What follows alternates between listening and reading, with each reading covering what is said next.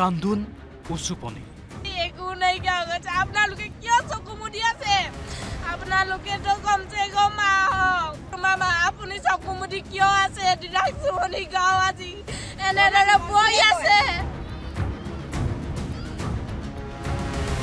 সংগ্ৰাম শিবিৰত ভোকে পিয়াহে আঁতোৰ জনতাই নেতাক ঘেৰি উজাৰিছে ক্ষোভ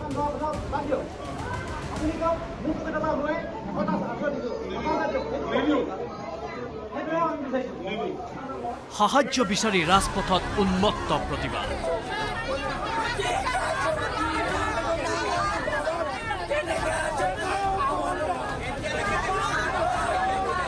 আহাৰৰ ভৰ বাৰিষাত বানত ককবকোৱা ৰাজ্যৰ এয়া মাথোন কেইটামান বিক্ষিপ্ত স্নেপশ্বট।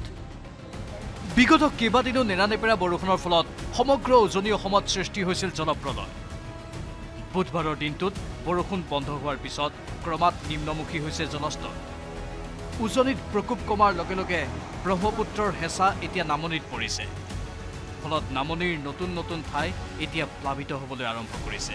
ব্ৰহ্মপুত্ৰৰ জলস্তৰ বৃদ্ধিয়ে ইতিমধ্যে আশংকা বৃদ্ধি কৰিছে মহানগৰীতো মহানগৰীৰ ব্ৰহ্মপুত্ৰৰ দাঁতিকাষৰীয়া পাণ্ডু আৰু চন্দ্ৰপুৰ এলেকাত ইতিমধ্যে জমা হৈছে বাৰিষাৰ পানী।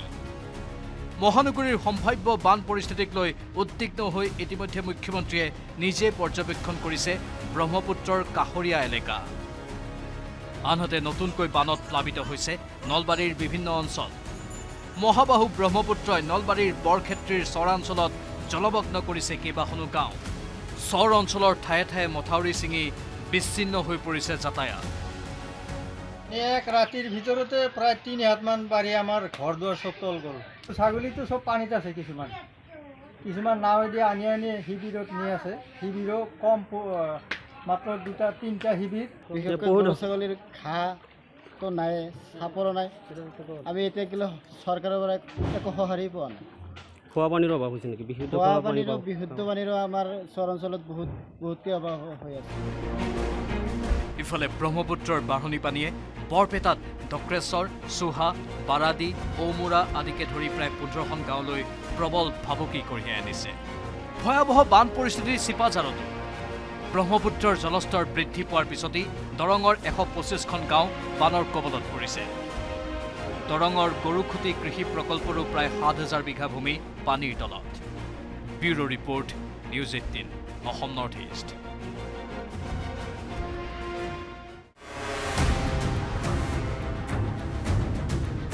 কান্দোন উচুপনি একো নাইকিয়া আপোনালোকে কিয় চকু মুদি আছে? আপোনালোকেতো কমচে কম আপুনি কিয় আছে গাঁও আজি এনেদৰে বৈ আছে সংগ্ৰাম শিবিৰত ভোকে পিয়াহে আঁতোৰ জনতাই নেতাক ঘেৰি উজাৰিছে ক্ষোভ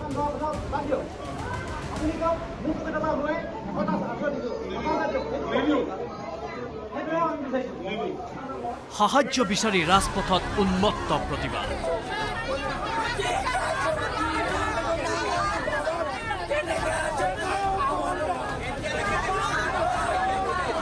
আহাৰৰ ভৰ বাৰিষাত বানত ককবকোৱা ৰাজ্যৰ এয়া মাথোন কেইটামান বিক্ষিপ্ত স্নেপশ্বট। বিগত কেইবাদিনো নেৰানেপেৰা বৰষুণৰ ফলত সমগ্ৰ উজনি অসমত সৃষ্টি হৈছিল জলপ্ৰলয়।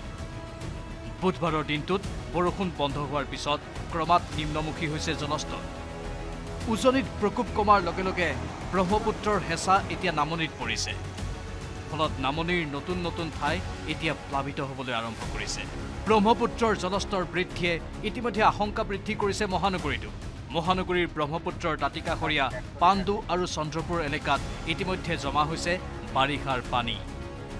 মহানগৰীৰ সম্ভাৱ্য বান পৰিস্থিতিক লৈ উদ্বিগ্ন হৈ ইতিমধ্যে মুখ্যমন্ত্ৰীয়ে নিজে পৰ্যবেক্ষণ কৰিছে ব্ৰহ্মপুত্ৰৰ কাষৰীয়া এলেকা।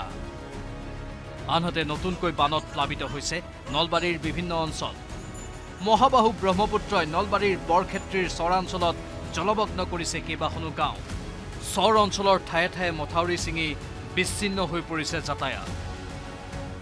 এক ৰাতিৰ ভিতৰতে প্ৰায় তিনি হাতমান বাঢ়ি আমাৰ ঘৰ দুৱাৰ চব তল গ'ল। ছাগলীটো চব পানীত আছে কিছুমান। কিছুমান নাৱেদি আনি আনি শিবিৰত নি আছে। শিবিৰো কম মাত্ৰ দুটা তিনিটা শিবিৰ। ছাগলীৰ ঘাঁহটো তো নাই চাপৰো নাই। আমি এতিয়া কিলো চৰকাৰৰ পৰা একো সঁহাৰি পোৱা নাই। খোৱা পানীৰ অভাৱ হৈছে নেকি? বিশুদ্ধ খোৱা খোৱা পানী পানীৰো বিশুদ্ধ পানীৰো আমাৰ চৰ অঞ্চলত বহুত বহুতকৈ অভাৱ হৈ- হৈ আছে।